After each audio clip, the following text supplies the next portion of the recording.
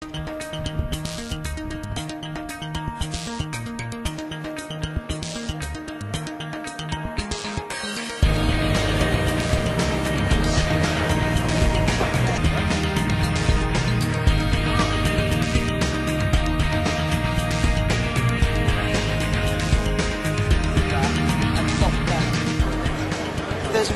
festivals that are food festivals already in London, but I think that I think that London really does need something with a bit more, you know, a bit more heart, a bit more soul. And that's what the festival is all about. It's all about producers that are passionate, um, and, and they're all here under one roof. Uh, It's been a really good festival. I mean, it's always good to come down to London and meet our customers, but just the level of knowledge about food here is really exciting and always good to go out um, and see what the other exhibitors are doing. I really like it because there's a change of atmosphere here. The, the, the way the stands are open, you don't get that enclosed shell scheme effect.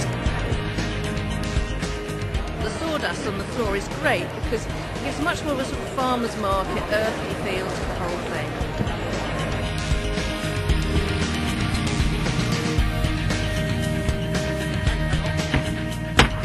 I think really one of the highlights for me has got to be the gala night rabbit skinning moment. I think that really was quite something. I'll, I'll never forget it. The message of the festival is, is, is really about educating people on their, about their food. They're wanting to know more and more where it's come from, what's gone into making it. To be able to tell people where their food comes from, to explain that it's you know, definitely from our farm and how it's been butchered on the farm, and it's all about the different breeds. I think people have, are finding a lot of food which they didn't know existed and it's giving them ideas on things to look for throughout the year.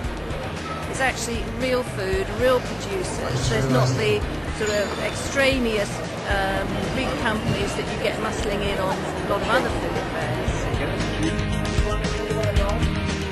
My job has been here at the Real Food Theatre. I've been coordinating the chefs getting on and off stage, making sure they've got all their ingredients, running around the whole show, resourcing things for the chefs. It's been really great because that means I've had a chance to meet lots of producers and find lots of interesting produce that, that they might want to use. So it's been really exciting. The atmosphere has been fantastic from the sawdust on the floor, the, the pigs on the way in. It's just been really well put together. Um, very nice organisers and great exhibitors. And customers, which are the best bit.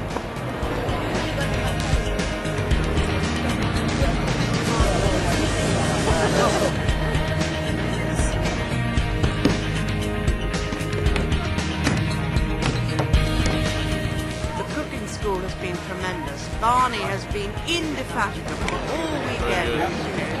Has worked really hard to give the very best to all the people who've turned up for the classes. a wonderful experience of, of real food and the kind of food that we should really be all celebrating. The sort of food that's going to change the future of the planet and uh, that children should be learning how to cook. Um, what else can I say? I think it's been the most extraordinary event. I think.